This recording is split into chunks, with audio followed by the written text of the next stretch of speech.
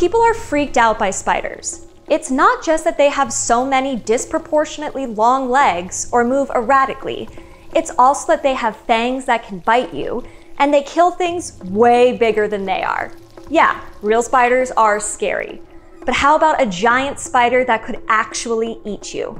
Meet the Jorogumo, taking the scary spider thing to a whole other level for centuries. Appearing as an attractive woman to lure her victims to a painful death, this giant shape-shifting spider of Japanese folklore is both beautiful and deadly, like the real-world spider that shares her name. For now, let's explore how this deadly female monster snared imagination in her web by taking a look at ancient storytelling and the mysterious world of the Japanese yokai. I'm Dr. Emily Zarka, and this is Monstrum. Broadly speaking, the word yokai refers to any weird or supernatural creature or phenomena in Japanese folklore. Yokai offer explanations for things that seem unusual or defy the known world. They are personal and cultural, shifting meaning or appearance based on who is telling the story and for what purpose. A yokai can be pretty much anything strange, from oddly moving smoke to head eating spirits or even a mischievous paper umbrella. The word yokai is made from two Chinese characters, kanji, that both indicate strangeness or mystery, and the word appears in Japanese texts at least as early as the 8th century. The term popped up more frequently in the mid-Edo period, but wasn't really popularized as the term for anything unexplainable until the Meiji period a 20th century Japanese folklorist solidified its place in culture when he began using it in his academic writing. Before yokai became the common term for all things creepy, spooky, and strange in Japan, there were a whole slew of names. The name changed based on time period and cultural popularity. In the Heian period, Oni referred to anything threatening, although most often that thing was a demon or ogre that had a human-like shape. During the Edo period, another word could be used to label any shape-shifting being, or any oddly formed or scary creature. So the Jorogumo falls under any of these categories, since it is a strange, threatening creature that can take on a human shape or a spider form, covering all the bases with all those legs, I guess. Jorogumo first appeared in literature in the Edo period. It is highly likely that they previously existed as part of an oral folklore tradition. The joro in jorogumo translates to prostitute, but is also associated with the word joro, which historically referred to the women who waited on female royalty. Also known as the binding bride, whore spider, entangling bride, and harlot spider, this shape-shifting creature is unsurprisingly known for her ability to lure handsome men into her clutches by disguising herself as a beautiful woman, before using a painful venom to kill her victims slowly. In some stories, this venom gives the monster the ability to shapeshift. The Jorogumo is said to spin silk strong enough to capture a man in her web, and she can control other spiders. Illustrations sometimes show this creature as a woman with spider legs, or just as a large spider. Spiders play a central role in a lot of Japanese folklore.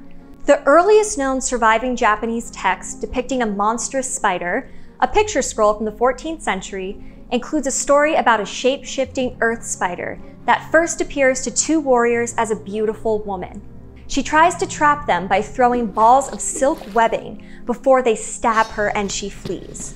Later, the men find a many-legged creature wounded in the same area the woman was stabbed.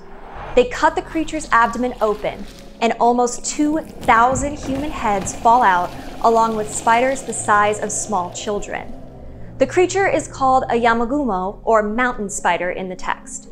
This seems awfully similar to the Jorogumo, and it definitely shows the association between beautiful women and spiders in Japanese folklore.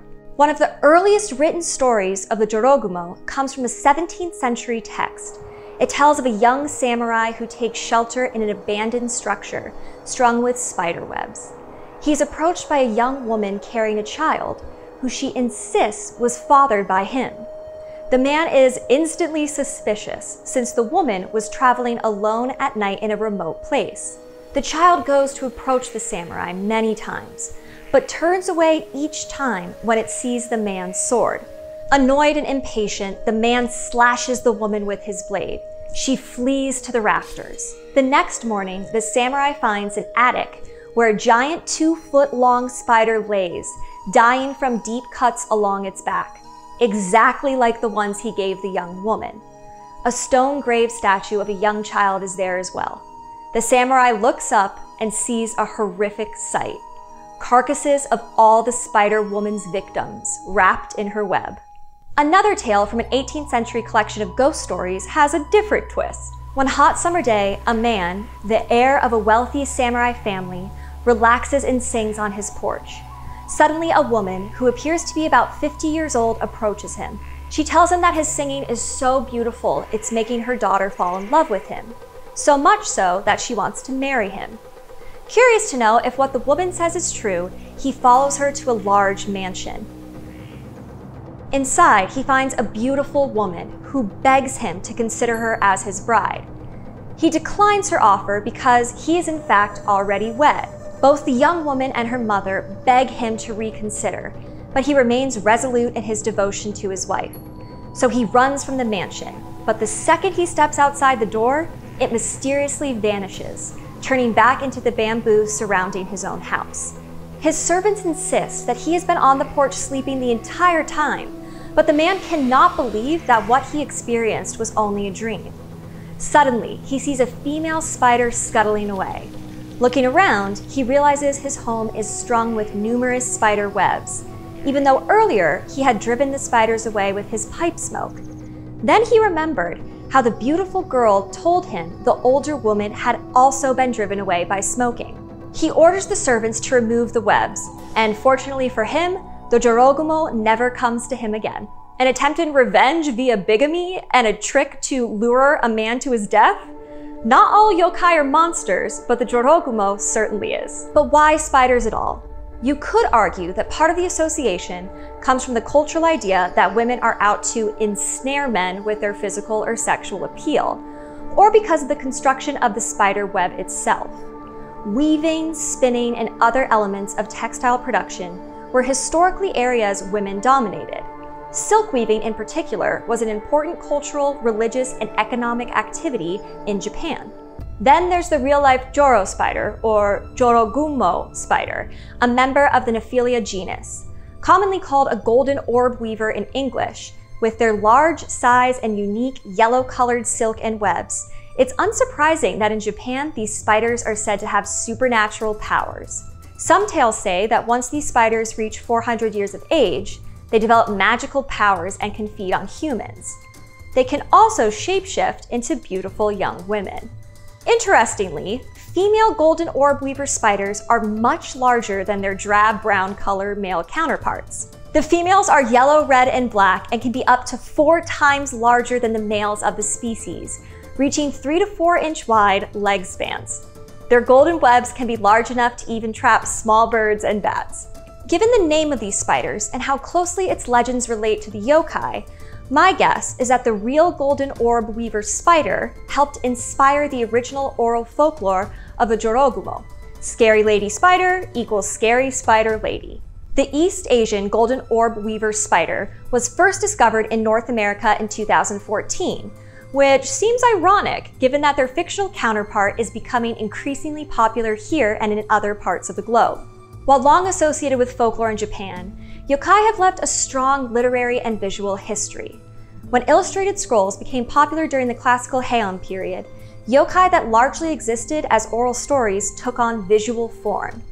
By recording these unusual beings, their forms became more solidified in how they were portrayed, but the art inspired many other different kinds of yokai as well. Today, we've seen a similar resurgence as the Jorogumo becomes more well known outside of Japan. The internet, in a world that's more connected than ever, made manga and anime more popular outside of Japan. And the Jorogumo pops up in both of these. I'm always fascinated by monsters that are exclusively female.